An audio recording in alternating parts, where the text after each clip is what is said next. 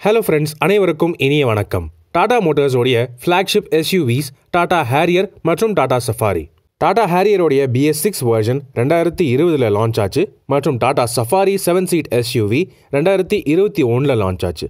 Launch ஆனதுலேருந்து இப்போ வரைக்கும் இந்த ரெண்டு எஸ்யூவிஸுமே பயங்கரமாக சேல் ஆகிட்டு இருக்குது அதுக்கு ஏற்ற மாதிரி Tata மோட்டார்ஸும் regular feature updates variant updates எல்லாம் கொடுத்துட்டே இருக்காங்க.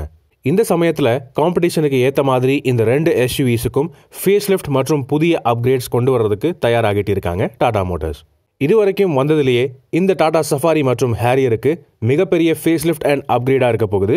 லுக்ஸ் ஃபீச்சர்ஸ் மற்றும் பவர் ட்ரெயினை பொறுத்தவரை. இந்த வீடியோவில் இந்த புது ஃபேஸ் லிஃப்டட் டாடா சஃபாரி மற்றும் ஹேரியர் பற்றி தான் டிஸ்கஸ் பண்ண போகிறோம் ஸோ கண்டிப்பாக அவசியம் தொடர்ந்து பாருங்கள் ஆனால் வீடியோவுக்கு உள்ளே போகிறதுக்கு முன்னாடி எப்பவும் போல் நான் கேட்குறதாங்க நம்ம சேனலுக்கு நீங்கள் புதுசாக இருந்தீங்கன்னா அவசியம் நம்ம சேனலுக்கு சப்ஸ்கிரைப் பண்ணுங்கள் ஏன்னா இதே போல் ரெகுலர் நியூஸ் அப்டேட்ஸ் அதை தவிர எல்லா கார்ஸோடைய எல்லா வேரியன்ஸோடைய டீட்டெயில் ரிவ்யூஸும் தமிழில் நீங்கள் நம்ம சேனலில் டீட்டெயில்டாக பார்க்கலாம். உங்களுடைய சப்போர்ட் தான் என்றைக்குமே எங்களுக்கு பெரிய மோட்டிவேஷனாக இருக்குது அதனால் ப்ளீஸ் இந்த வீடியோவை லைக் பண்ணுங்கள் ஷேர் பண்ணுங்கள் மேலும் ஃபேஸ்புக் இன்ஸ்டாகிராம் அண்ட் ட்விட்டர்லையும் ஃபாலோ பண்ணுறதுக்கு மறக்காதீங்க.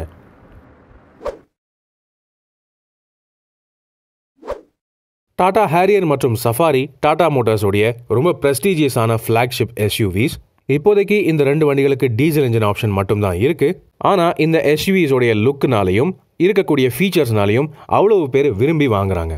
டாடா ஹேரியர் மற்றும் சஃபாரி ரெண்டுமே லேண்ட்ரோவருடைய டி எயிட் ஆர்கிடெக்சரை பேஸ் பண்ண ஒமேகா ஆர்க் பிளாட்ஃபார்மில் தான் பில்ட் பண்ணியிருக்காங்க ஆனாலும் இன்னி வரைக்கும் இந்த ஹேரியர் மற்றும் சஃபாரி ஆல் வீல் டிரைவ் ஆப்ஷனோட அவைலபிள் கிடையாது. ஃப்ரண்ட் வீல் டிரைவ் எஸ்யூவிஸா மட்டும் தான் வருது. அதுவும் டீசல் என்ஜினோட மட்டும். ஆனா இந்த புது ஃபேஸ் லிஃப்டோட இந்த ஹேரியர் மற்றும் சஃபாரிக்கு புதுசா டர்போ பெட்ரோல் என்ஜின் ஆப்ஷன் வர்றதுக்கு வாய்ப்பு இருக்கு. இந்த ஹேரியர் மற்றும் சஃபாரி ஃபேஸ் லிஃப்ட்டுக்கு புதுசான ஒரு one point five litre four cylinder DGTA turbo petrol engine வர்றதுக்கு வாய்ப்பு இருக்கு. Hundred and seventy PS maximum power produce பண்ணும். இந்த டர்போ பெட்ரோல் என்ஜினுக்கு புதுசான ஒரு dual clutch automatic transmission option வர்றதுக்கு வாய்ப்பு இருக்கு. ஆனால் இந்த பெட்ரோல் என்ஜின் தவிர இருக்கிற two litre four cylinder Kryotec turbo diesel engine இன்னும் கொஞ்சம் பவர்ஃபுல்லாக அப்கிரேட் பண்ணுவாங்க அப்படின்னு நினைக்கிறேன். சிக்ஸ் ஸ்பீட் மேனுவல் மற்றும் six speed torque converter automatic gear box options இருக்கு. என்ஜின் மற்றும் டிரான்ஸ்மிஷன் அப்கிரேட்ஸ் தவிர இந்த ஹேரியர் மற்றும் சஃபாரிக்கு எக்ஸ்டீரியர் மற்றும் இன்டீரியர் அப்டேட்ஸும் பெருசாக வரப்போகுது. முதல் படியாக எக்ஸ்டீரியர்ஸ்னு பார்த்தீங்கன்னா இப்போ ரீசெண்டாக நம்ம ஆட்டோ எக்ஸ்போவில் பார்த்த டாடா ஹேரியர் ஈவியோடைய ஃப்ரண்ட் ஃபேஸியா ஆல்மோஸ்ட் அப்படியே இந்த ஃபேஸ் லிஃப்ட் டாடா ஹேரியர் மற்றும் சஃபாரிக்கும் வரப்போகுது. அதாவது ஒரு புத்தம் புது ஃப்ரண்ட் கிரில் கிரில்லுக்கு மேலே சிக்னேச்சரான எல்இடி டிஆர்எல்ஸ் வண்டியோடைய முழு அகலத்துக்கும் ஃப்ளோ ஆகும். மற்றும் கீழே பம்பர்ஸில் இருக்கக்கூடிய ஹெட்லாம்ப்ஸை ஃபுல் எல்இடி ஹெட்லாம்ப்ஸாக மாற்றுறாங்க இன்னும் ஸ்லீக்கான டிசைனோட மேலும் அஃப்கோர்ஸ் ஃப்ரண்ட் பம்பர் மற்றும் கிரில்லோடைய டிசைனும் டோட்டலாக சேஞ்ச் பண்ணுறாங்க அதே மாதிரி ரியரில் எல்இடி டெயில் லேம்ப்ஸ் வண்டியோடைய முழு அகலத்துக்கும் ஃப்ளோ ஆகும். எல்இடி லைட் பார் ஓட வரும். மற்றும் ரியர் பம்பருடைய டிசைனும் இன்னும் கொஞ்சம் ஷார்ப்பாக ஸ்போர்ட்டியாக மாறும். அதை தவிர எதிர்பார்த்த இன்னொரு விஷயம் அலாய் வீல்ஸுடைய டிசைன் அதுவுமே ஒரு புத்தம்புது டிசைனாக வரப்போகுது ரெண்டு வண்டிகளுக்குமே. மற்றபடி இந்த ஹேரியர் மற்றும் சஃபாரியோடைய ஃபேஸ் லிஃப்ட்ஸுக்கு வண்டியோடைய ஓவரால் சைஸ் ப்ரொபோர்ஷன்ஸ் மற்றும் டைமென்ஷன்ஸில் பெரிய வித்தியாசம் வரப்போகிறது கிடையாது. அடுத்தபடியாக இன்டீரியர் பற்றி பேசுவோம். இப்போ இருக்கக்கூடிய ஹேரியர் மற்றும் சஃபாரிக்கு கொஞ்சம் சிம்பிளான டேஷ்போர்ட் டிசைன் தான் கொடுத்துருக்காங்க. ஆனால் இப்போ சமீபத்தில் லான்ச் ஆன ரெட் டார்க் எடிஷன்ஸில் எக்கச்சக்கமான ஃபீச்சர்ஸ் அப்கிரேட் பண்ணிட்டாங்க.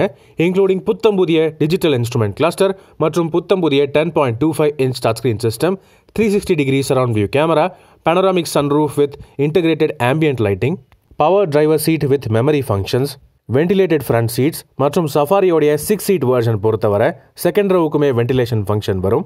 அதோட சஃபாரியோடைய கோ டிரைவர் சீட்டுக்கு பவர் அட்ஜஸ்ட்மெண்ட் வருது.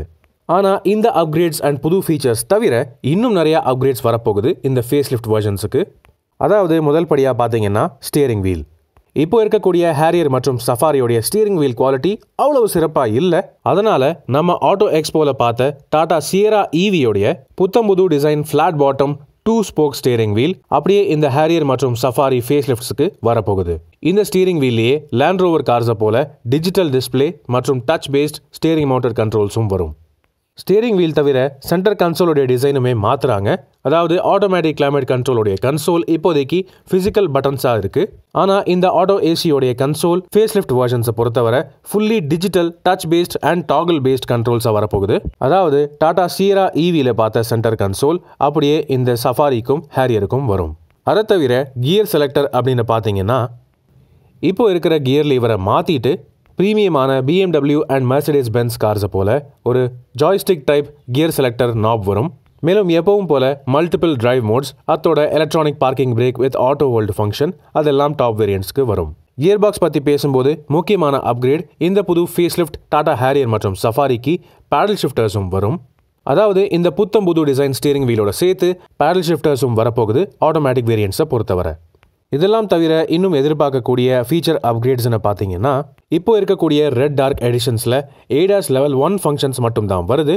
ஆனால் இந்த ஃபேஸ் லிஃப்ட் வேர்ஷன்ஸுக்கு ஏடாஸ் லெவல் டூ ஃபங்க்ஷன்ஸ் வரதுக்கு வாய்ப்புகள் இருக்குது including adaptive cruise control autonomous emergency braking lane keeping assist மற்றும் ரியர் கொலிஷன் அவாய்டன்ஸ் அசிஸ்ட் அத்தோட சஃபாரியை பொறுத்தவரை அவ்வளோ பெரிய டெயில் கேட்டுக்கு எலக்ட்ரானிக் பவர் ஃபங்க்ஷனும் வரதுக்கு வாய்ப்பு இருக்குது ஆனால் லக்கேஜ் கெப்பாசிட்டியை பொறுத்தவரை பெரிய மாற்றங்கள் எதுவும் வராது.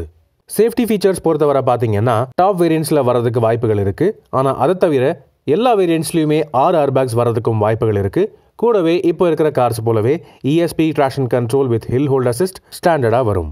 இந்த புது டாடா சஃபாரி மற்றும் ஹேரியர் ஃபேஸ் லிஃப்ட் இந்த வருஷம் அக்டோபர் மாதத்தில் லான்ச் ஆகிறதுக்கு வாய்ப்புகள் இருக்குது அதனால் மேலும் தகவலுக்கு அவசியம் காத்திருப்போம். இந்த ஃபேஸ் லிஃப்ட் டாடா ஹேரியர் மற்றும் சஃபாரிக்காக நீங்கள் ஆவலாக இருக்கீங்களா? கமெண்ட் செக்ஷனில் தாராளமாக பகிர்ந்துக்கங்க. இப்போதைக்கு உங்களிடமிருந்து விடைபெறுவது அன்புடன் விப்ரஜேஷ். மேலும் பல வீடியோக்களில் சந்திப்போம். நன்றி வணக்கம்.